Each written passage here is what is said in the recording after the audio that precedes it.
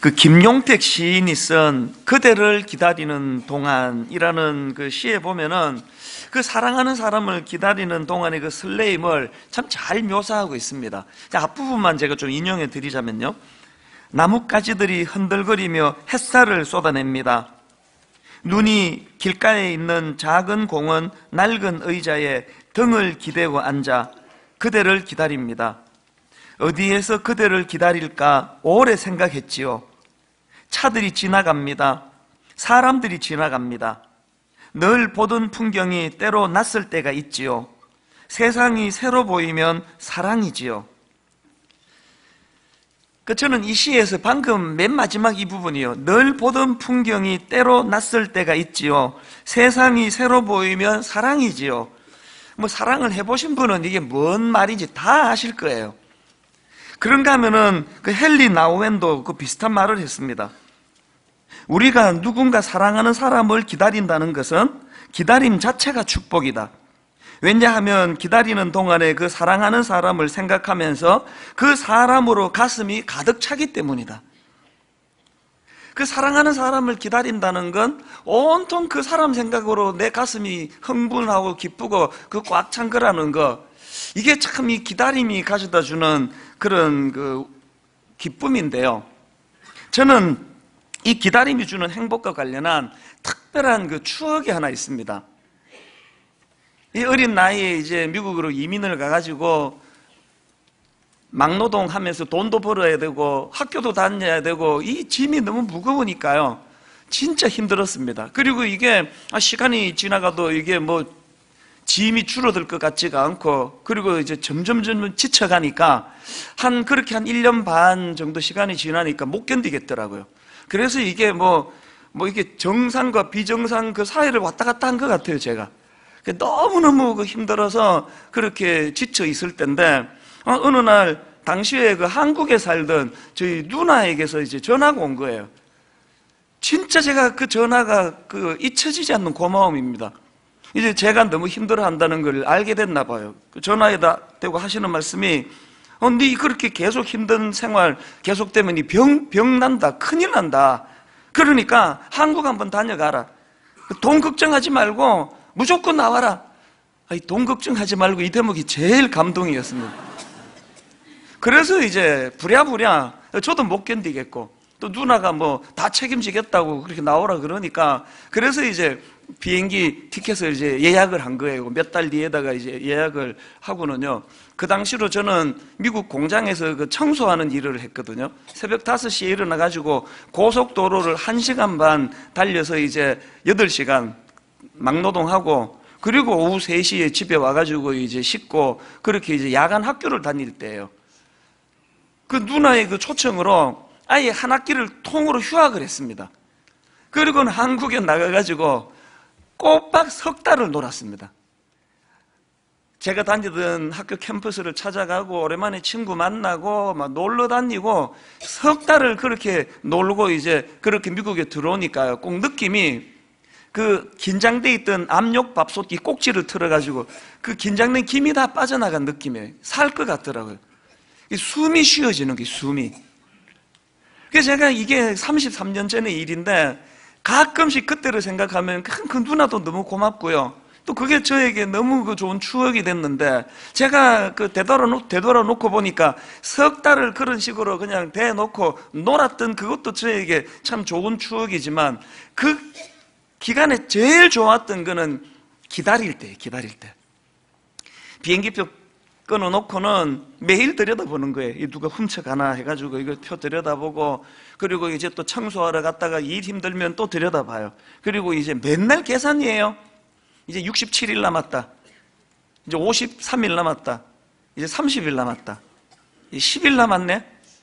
계속 하루하루 그 기다리면서 그 한국 돌아갈 날을 계산하는 그 기간이 내 인생에 가장 행복했던 기간 중 하나예요. 근데 그때 깨달은 게 뭐냐 하면은요. 막상 누리고 즐기는 것보다 더 좋을 때가 기다릴 때더라고요. 그리고 또 이렇게 막 현실이 힘들 때, 그때 뭐 8시간 막 노동하고 왕복 3시간을 고속도로를 왔다 갔다 해야 되니까요. 그리고는 뭐 밤 10시, 11시에 이제 야간 학교 마치고 집에 들어오면은 숙제 이런 거 하면 영어가 그때 잘 안 되니까 새벽 2시, 3시 이렇게 숙제하니까 하루 수면 시간이 3시간일 때도 한두 번이 아니에요. 맨날 코피 터지고 그랬지만 이제 나 이제 곧 한국 간다. 이제 한국 방문한다. 석 달이나 내가 이제 놀다 올 거다. 그 기다림이 능력이 들어요, 능력. 에너지가 되는 거예요. 제가 이런 관점으로 성경을 보니까요. 성경은 바로 이 원리를 그대로 녹여놓은 게 그게 성경이에요. 누가 저보고요. 기독교를 한마디로 어떻게 정의하겠습니까? 그러면 우리 기독교는 기다림의 종교다. 난 그렇게 정의하고 싶습니다. 그렇습니다. 기독교는 현실을 누리는 종교가 아니에요. 기다림의 종교예요. 다 아시지만 구약에서는 오실 메시아 예수 그리스도를 기다리는 기다림의 책이고요. 신약에서는 다시 오실 예수 그리스도를 기다리는 그 기다림의 책이에요. 더군다나 구약을 한번 보십시오.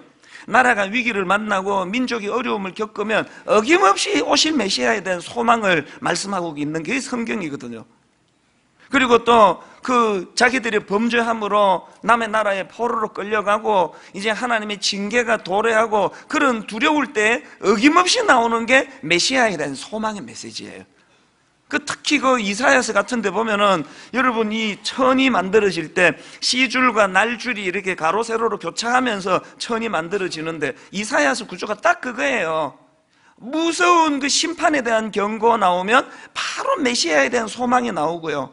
이것이 교차되면서 진행되는 게 그게 이사야서거든요. 신약도 마찬가지입니다. 구약이 오실 메시아에 대한 그 기다림으로 현실의 어려움을 이겨나가도록 했다면 신약은 마르나타의 마르나타 아멘 주 예수의 오시옵소서 다시 오실 예수 그리스도의 소망으로 현실의 고난과 고통을 이겨내도록 하는 원리가 그게 신약 성경 아닙니까? 그래서 여러분 아시는 그 요한 계시록 그거 사도 요한이 반모 섬에 유배 유배 가서 쓴 책 아닙니까? 앞도 맡기고 옆도 맡기고 뒤도 맡기고 그 로마 황제의 그 끔찍한 박해 속에 유배된 요한이 요한계시록을 왜 썼습니까?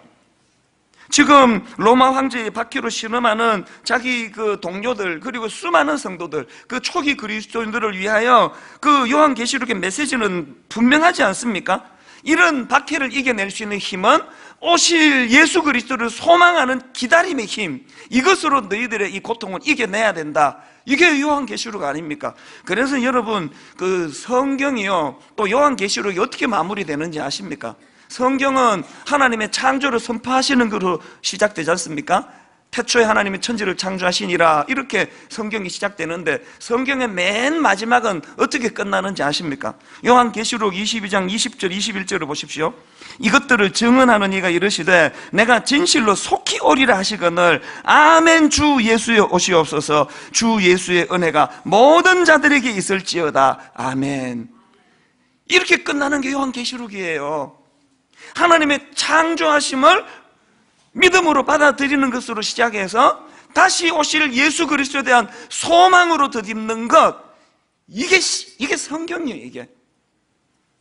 그러다가 보니까 초대교회 때부터 기독교는 이 기다림의 종교 이 기다림이 주는 소망.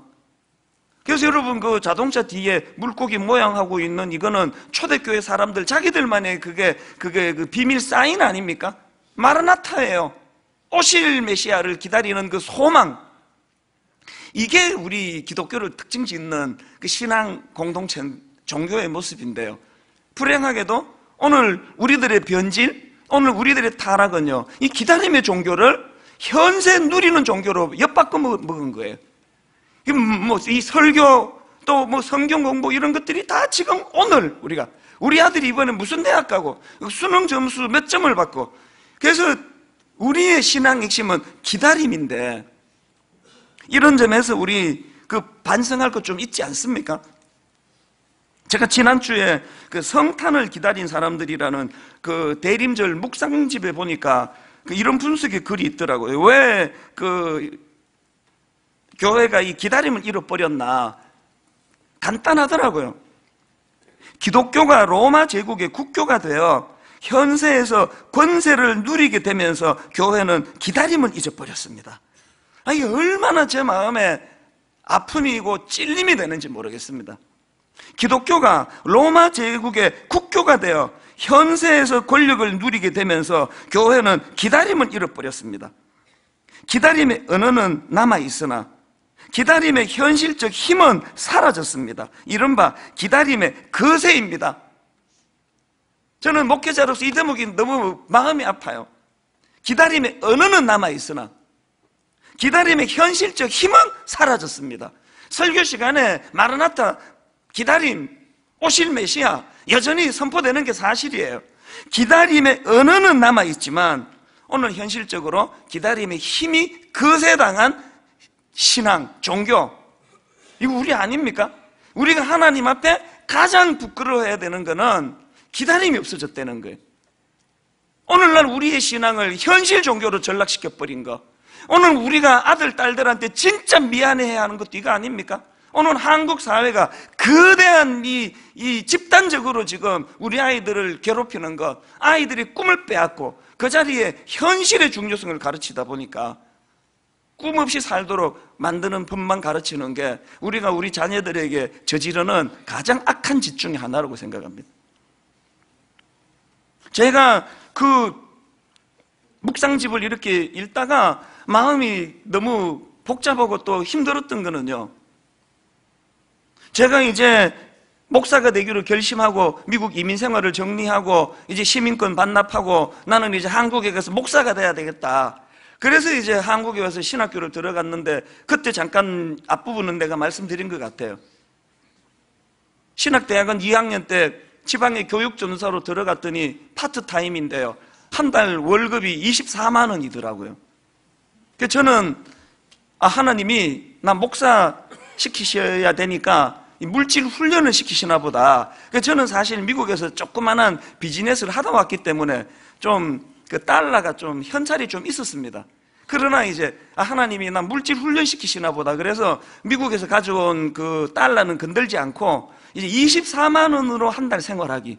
그러니까 답이 딱 나오더라고요. 그 달동네 비슷한 데 가서 월 4만 8천 원짜리 창고를 개조한 그러나 연탄 보일러 고장난 지 오래된 그런 4만 8천 원짜리 월세집으로 들어가고 뭐 이것저것 다 떼고 나니까 식비가 안 나오는 거죠, 당연히. 그래서 이제 그때 맨날 혼자서 이런 조그만한 전기밥솥에다가 이제 시장 가가지고 멸치하고 고추장 사가지고 신문지 깔아놓고 그게 내 식사였거든요. 삼시 세끼를 그렇게 먹으니까 조금 지나니까 영양실조 증상이 오더라고요. 핑 돌고. 겨울에 뭐 변탄 보일러 고장 났으니까 뭐 머리 감을 때도 없고요. 추워 추워 이런 말로 다 할 수 없는 그런 기간을 제가 보냈거든요 근데 제가 아까 그 묵상집을 읽다가 마음이 뜨거워졌던 게 뭔지 아십니까? 그렇게 월 4만 8천 원짜리 집에서 그거 마른 멸치하고 고추장에 삼시 세끼를 밥을 먹으며 지내던 그리고 또 결혼도 안 한 오남매 중에 막내인 제가 모든 직계 가족이 다 미국에 계시는데 저 혼자 지금 한국에 돌아와 그 외로움, 외로움, 이 말로 다 할 수 없는 그 외로운 시간을 보내는 그 기간을 생각해 보니까 그때 제가 너무너무 즐겨 부르고 좋아했던 찬송가가 하나 있는 거예요. 찬송가 85장. 구주를 생각만 해도 이렇게 좋거늘 주 얼굴 배울 때야 얼마나 좋으랴. 이 찬양 가사만 생겨도 눈물이 핑 도는 거예요. 여러분, 내 추억에 잊혀지지 않는 게 그때가 한 2월 말쯤인데요. 여러분, 그 석 달에 그, 그 추운 겨울, 연탄 보일러 고장난 집에 그 전기장판 깔고 추워 추워 그렇게 뼛속까지 추, 추위가 이제 막바지가 되던 2월 말에 제가 그 골목길을 지나가면 저 찬양을 불렀던 기억이 나요. 그 골목길까지 지금 기억이 납니다. 그 골목길을 지나가면서 저 찬양을 혼자 중얼중얼 불렀거든요. 구주를 생각만 해도 이렇게 좋거늘 주 얼굴 배울 때야 얼마나 좋으랴 이러면서 눈물을 흘렸던 기억이 나요. 왜 이 찬양이 제게 그렇게 의미가 있었을까요? 현실이 너무 힘드니까 경제적으로 너무 어렵고 뭐 자발적으로 찾아가서 한 거지만 영양실조 증상이 나타나고 너무 외롭고 또 교육 전도사 누구도 뭐 눈길 한번 주지 않는 이런 초라한 자리에 있으니까요. 현실이 너무 힘드니까 마라나타가 저절로 생기는 거예요. 소망이 저절로 생기는 거예요. 주님을 생각만 해도 이렇게 좋은데 그거 하나로 내가 지금 이민생을 정리하고 한국에 돌아와 지내는데 장차 얼굴과 얼굴을 맞대고 주님을 만나게 될 그것이 얼마나 내게 기쁨이 됐는지 눈물을 뚝뚝뚝 흘리면서 이 찬양을 불렀거든요. 그렇게 하고 33년이 지나가지고 여러분 아시는지 모르겠는데 저 이제, 저 이제 더 이상 가난한 목사 아닙니다. 저 이제 아는 사람 너무 많아가지고 지금 피해 다니 피해. 아는 사람 안 만날 뭐 갖춘 거 너무 많습니다. 너무 좋은 아내도 있고요. 뭐 그분이 이 예배를 드리기 때문에 이렇게밖에는 말씀을 못 드리지만 너무 좋은 애들이 있고 다 갖추었는데 제게 그때에 비해서 빠진 게 하나 있는데요. 저 찬양이 기억이 잘 안 나요. 잘 안 불러져요. 그리고 불러도 눈물이 안 나요. 아니, 뭐 지금이 이렇게 좋은데 뭐, 뭐 장차는 뭐, 이게 저의 치명적인 부끄러움이에요. 제가 너무 좋다가 보니까 혹시 제 설교도 맨날 지금 복 받는 설교만 하고 있는 건 아닌지 근데 그게 너무 두려운 거 아닙니까? 분당 우리 교회가요 지금 복 받는 사람들끼리 모여가지고 지금 복 받은 걸 자랑하고 다니는 교회면 이 교회는 썩은 교회 썩은 교회. 희망이 하나도 없는 교회예요. 신앙의 핵심은 지금이 아니에요. 그 구약의 그 신약의 그 초대교회에 말로 다할수 없는 박해 예수 믿는 것 때문에 목 날라가는 거 보셨습니까? 예수 믿는 것 때문에 순교당하고 예수 믿는 것 때문에 그 땅 파가지고 카타콤으로 숨어 들어가던 그 극심한 현실 속에서도 자기를 살게 하는 거 기다림 기다림 여러분 사랑하는 애인 기다리느라고 그 공원 벤치에 앉아 있어도 그렇게 마음이 좋은데 세상이 달라 보이는데 날 구원해 주신 예수 그리스도 그분 다시 오실 그분을 진짜 내 마음으로 기다린다고 한다면 냉방에서 이제 살아봤거든요. 조금 힘들지만 불가능한 건 아니에요. 밥 멸치하고 고추장 찍어 먹는 거, 그 조금 힘들긴 한데, 그 죽을 만큼 힘든 건 아니더라고요. 오늘 우리가 회복돼야 되는 건 기다림이에요, 기다림. 우리는 기다림의 종교다. 이 사실을 인식하는 거예요. 어제도요, 제가 그 청소년 그 사역할 때 너무 이뻐하던 그 제자가 하나 있는데요. 아, 이 녀석이 이제 지금 너무 슬럼프에 빠진 거예요. 그래서 이제 좀 만나자 그래서 만났더니 내 마음이 아팠습니다. 너무 일이 안 풀리는 거예요. 그 이 친구가 하는 말이 아, 주변에 보니까 믿음 하나도 없는 애들은 점점 점점 이렇게 잘 풀리고 막 다 잘 되는데 자기만 맨날 이렇게 죽을 것 같이 힘들어가지고 이게 슬럼프가 왔다는 거예요. 근데 간단하게 한마디 해줬습니다. 니 그게 정상인 거 몰랐구나.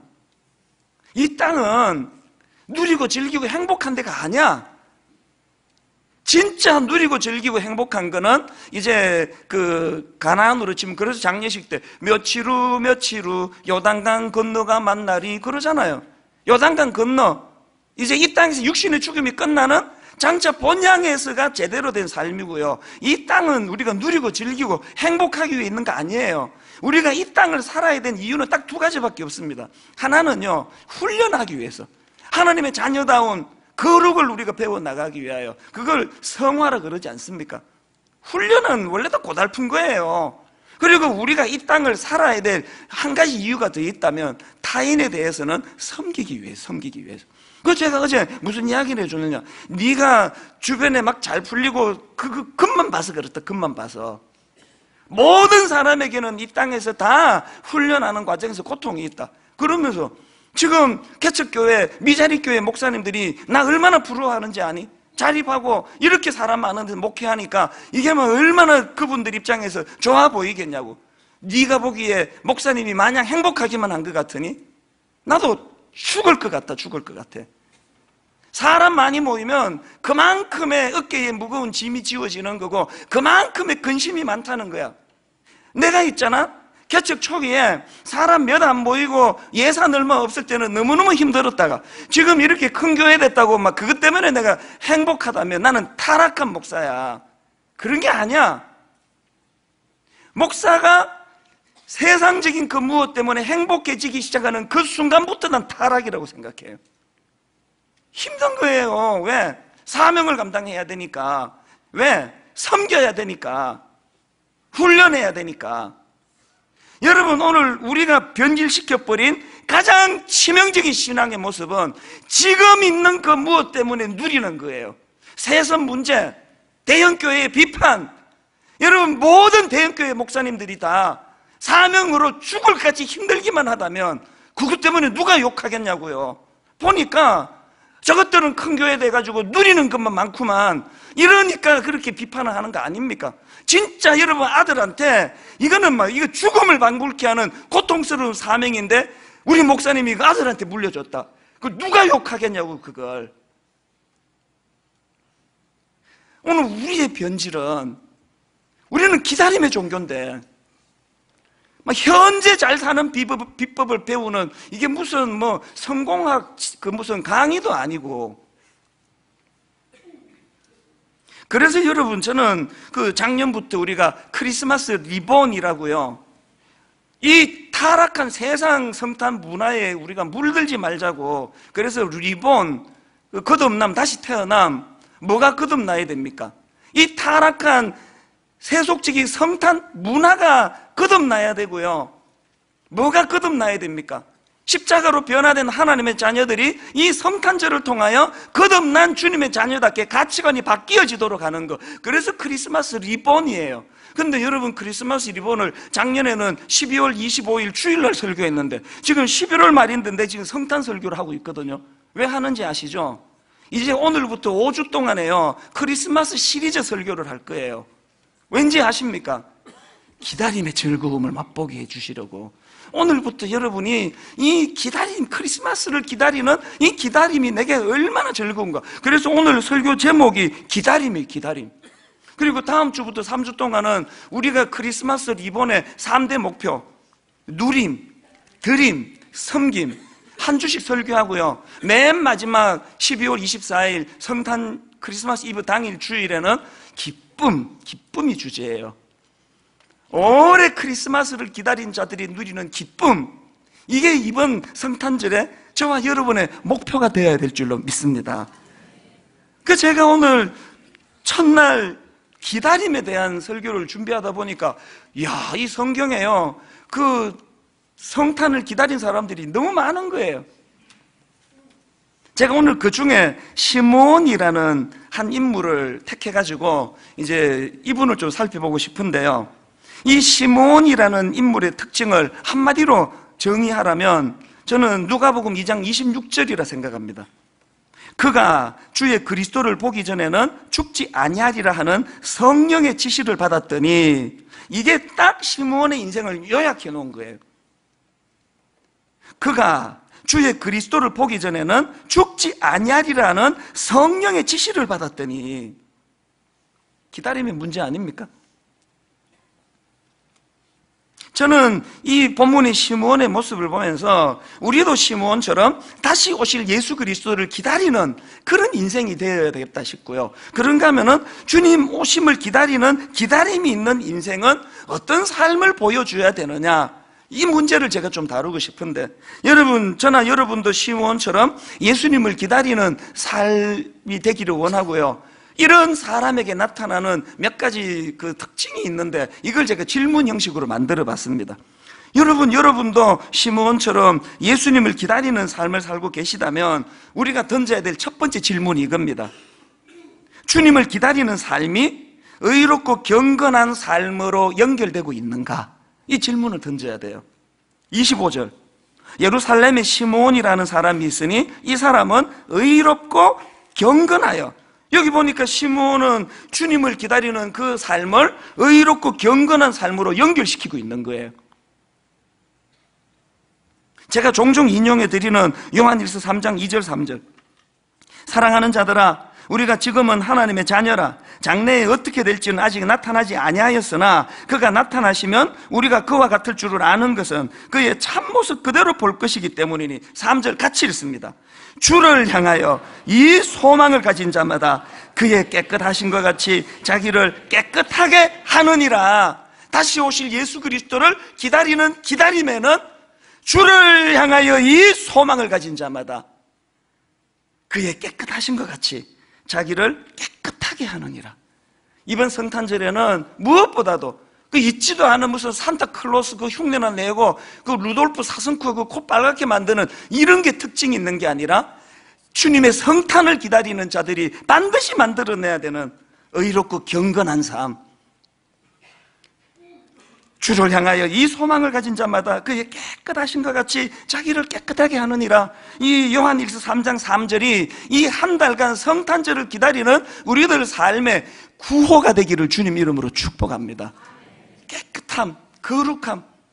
왜 이것이 주님을 기다리는 자들의 삶의 목표가 되어야 될까요? 하나님은 지금도 의롭고 경건한 자들을 찾고 계시기 때문에 그렇습니다. 창세기 7장 1절 여호와께서 노아에게 이르시되 너와 내 온 집은 방주로 들어가라. 이 세대에서 내가 내 앞에 의로움을 내가 보았습니다. 여러분 하나님 보시기에 노아 배 잘 만들어서 칭찬받은 인생이 아니고요. 거룩해서 칭찬받은 인생이에요. 이번 성탄절 한 달간의 성탄의 기쁨, 이 성탄을 기다리는 저와 여러분에게 주님의 거룩이 더 씌워지는 이 선물을 받게 되시기 바랍니다. 그런가 하면 두 번째로요.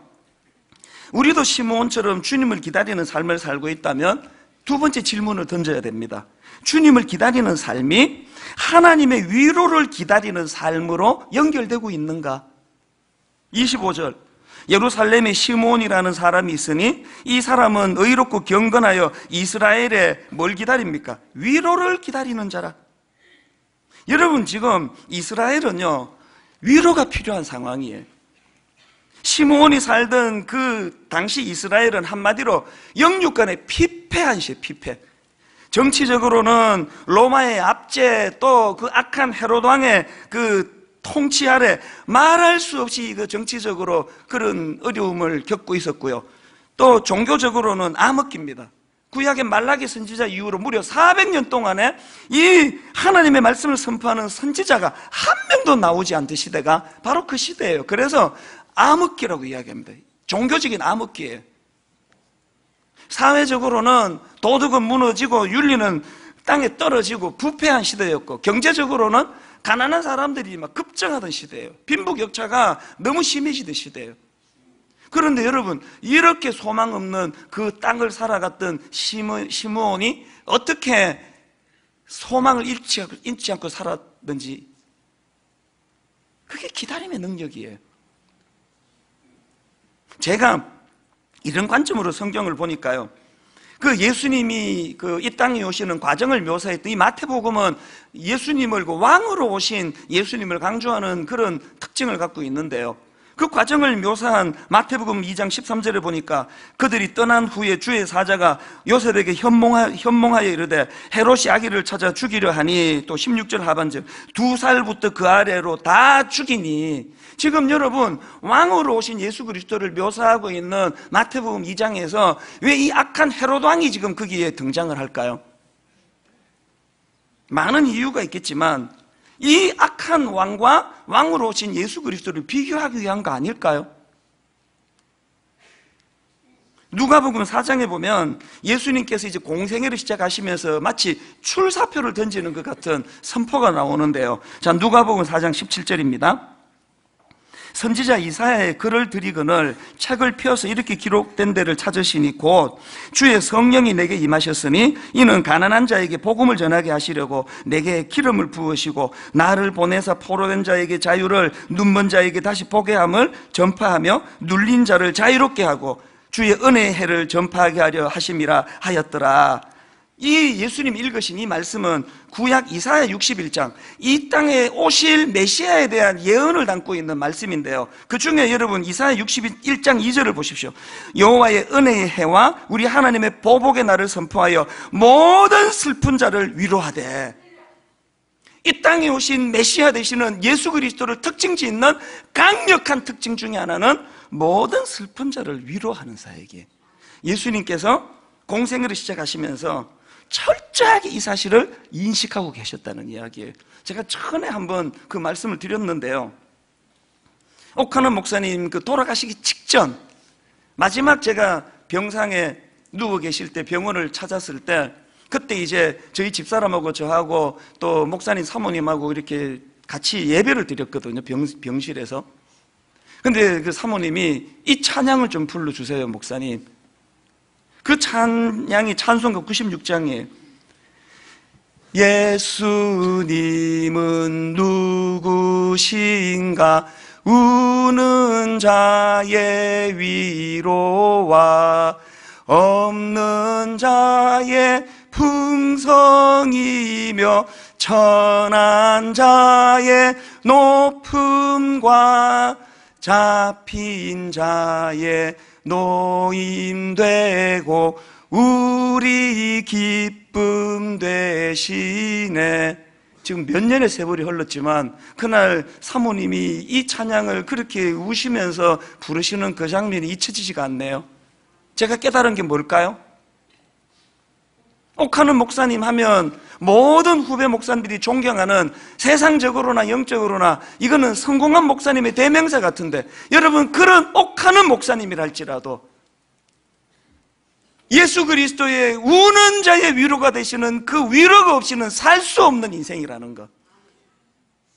옥하는 목사님 사모님 그러면 모든 사모님들이 다 부러워하는 어떻게 저런 남편을 목사님으로 목사님은 남편으로 만나게 됐을까? 그 부러움을 받는 사모님이라 할지라도 그 사모님 역시 우는 자의 위로가 되시는 예수 그리스도의 위로가 없이는 살 수 없는 존재라는 것 이게 너무 위로가 되지 않습니까?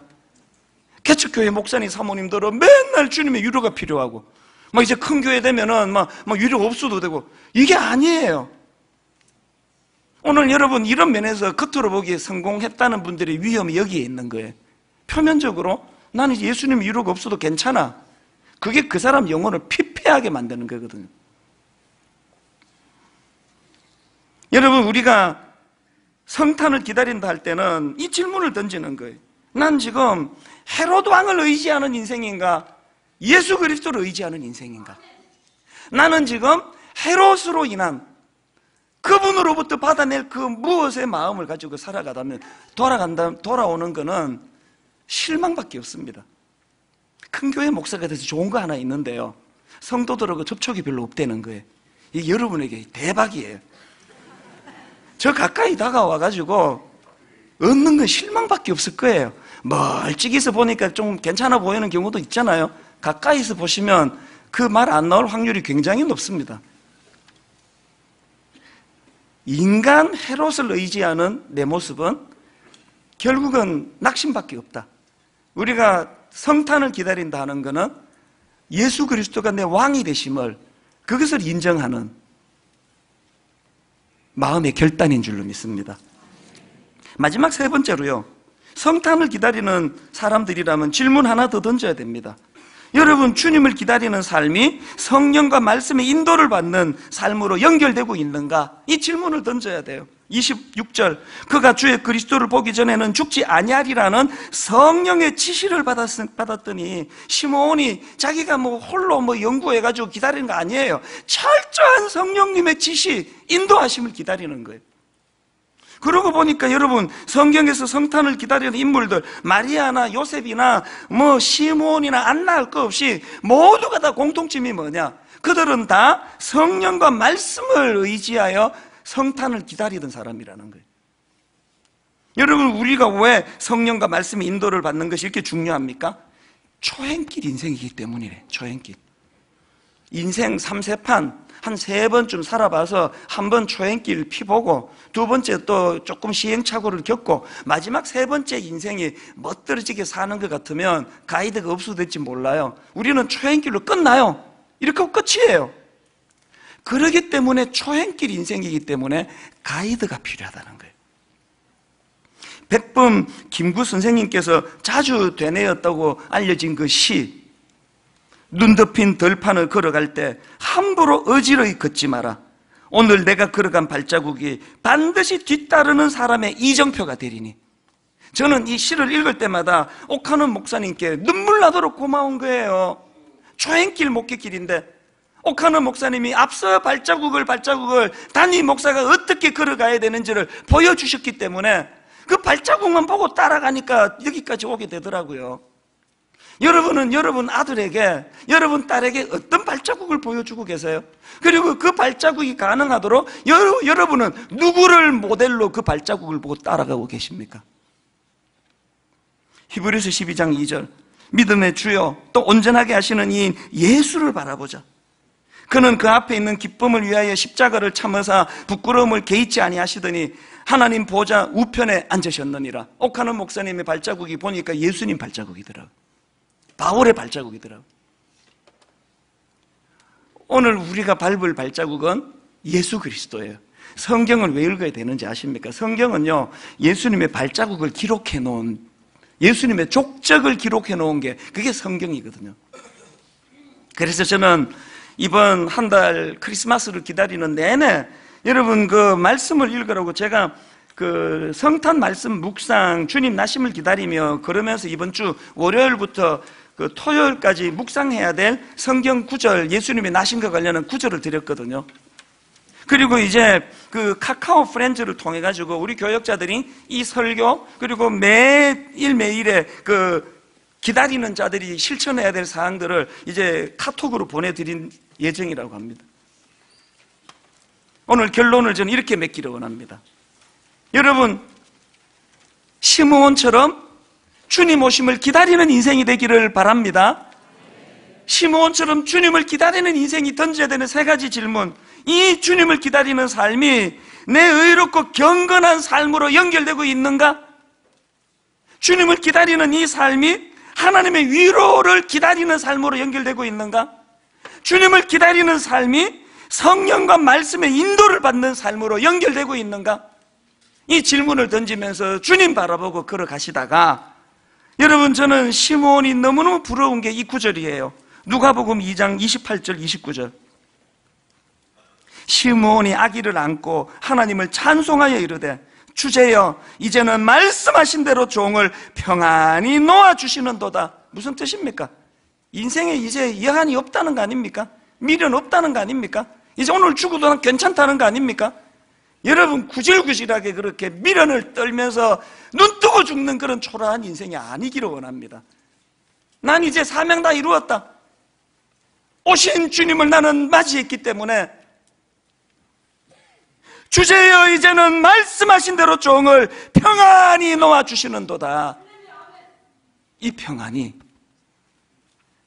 저와 여러분의 입술에서 흘러나오는 평안이 되기를 주님 이름으로 축복합니다. 우리 성탄절날 부르는 찬양을 11월 말에 부르는 건 처음인 것 같아요. 찬송가 122장이요. 우리가 기쁨으로 이제 이 한 달 성탄절을 기다리며 우리가 감사함으로 그리고 또 감격으로 우리 손뼉치면서 찬송가 122장 참 반가운 성도여 다 이리 와서 베들레헴 성 안에 가봅시다. 그 기대감 아닙니까? 엎드려 절하세 엎드려 절하세 우리 손뼉 치면서 우리 기뻐하면서 우리 함께 이 찬양을 불러보시겠습니다. 참 반가운 성도여. 반가운 성도여 다 이리 와 베들레헴 성 안에 가봅시다. 저 구유에 누이신. 저 구유에 누이신 아기를 엎드려 절하세. 엎드려 절하세.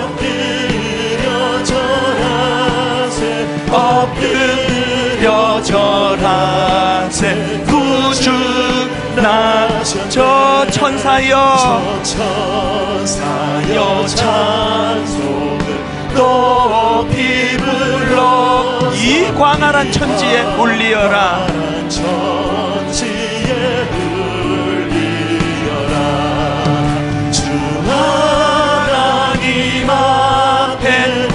영광을 엎드려 절하세 엎드려 절하세 엎드려 절하세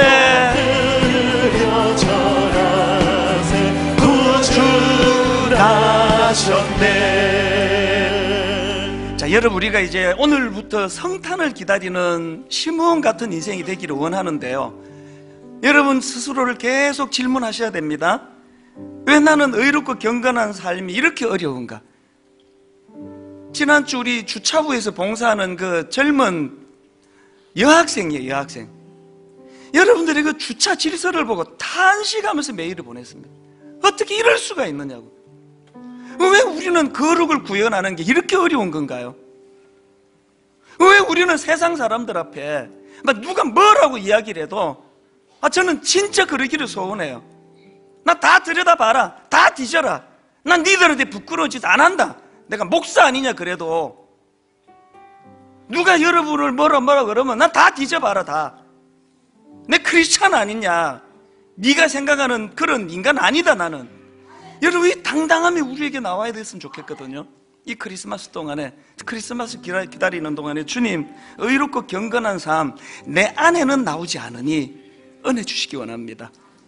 그런가 하면은 주님을 기다리는 삶은 하나님의 위로를 기다리는 삶이라고 하는데 왜 맨날 그렇게 위로를 받지 못해 신음하는 삶을 살 수밖에 없는지.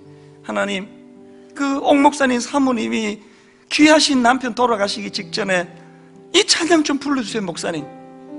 우는 자의 위로와 시시각각으로 주님의 위로를 받는 그런 성탄절의 기다림 되기를 바라고 그런가 하면은 여러분 주님을 기다리는 삶은 성령과 말씀의 인도를 받는 삶인데 왜 맨날 자기 경험을 의지해 가지고 맨날 그냥 자기 생각대로 마다가 듣냐느냐는 거 아닙니까?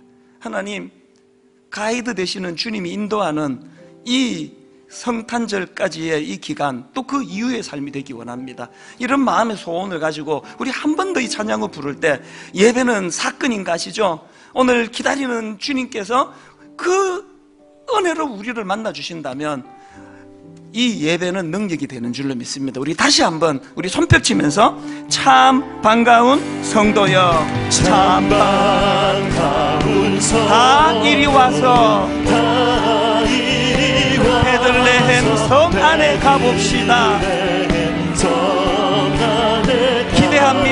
사모합니다. 저 구유에 누이신 구유에 누이신 절하세 보여 전하 엎드려 절하세.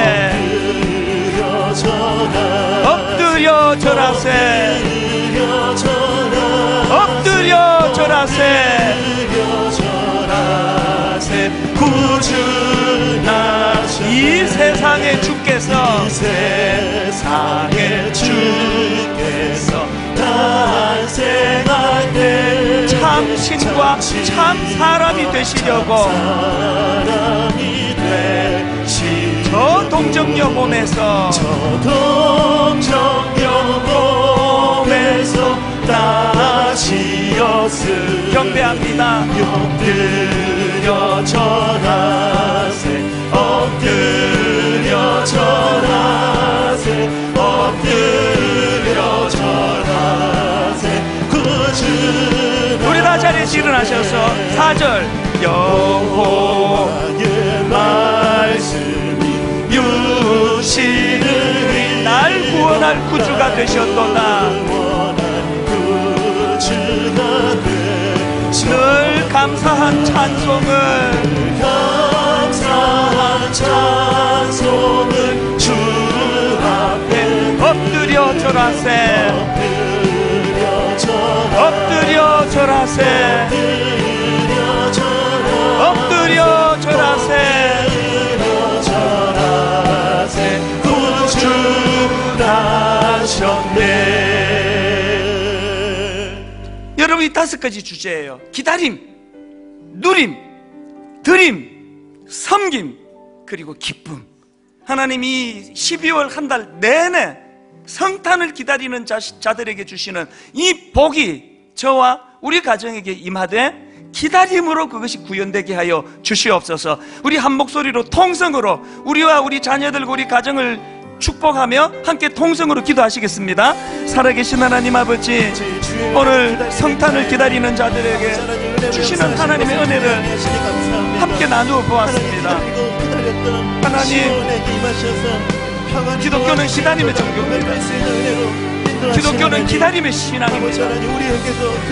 지금이 아니라 장차는 이 땅이 아니라 하나님 나라.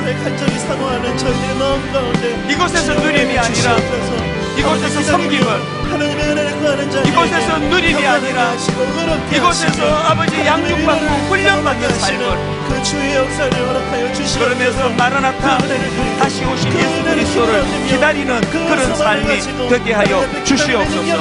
그렇게 살아내는 우리의 삶이 될 수 있도록 주님과해 주시기 원합니다. 오염된 성탄 문화에. 아버지 우리가 물들지 않기를 원합니다. 저희들에게 위로로 인도하실 주님 그 은혜를 기대하며 이런 날 시간을 보내기를 갈단하오니 주님 은혜로 인도하여 주시옵소서 하나님 아버지 이렇게 한 달 앞서 성탄을 기다릴 수 있는 마음을 주신 거 감사합니다. 하나님 이번 이 기다림을 통하여 진정 우리 삶의 누림, 드림, 섬김 그리고 이렇게 오래 성탄을 기다린 자들에게 하나님 주시는 기쁨 이 다섯 가지 항목을 반드시 쟁취해내고 하나님의 은혜를 기뻐 감사할 수 있는 그런 2017년 성탄절이 되게 하여 주시옵소서.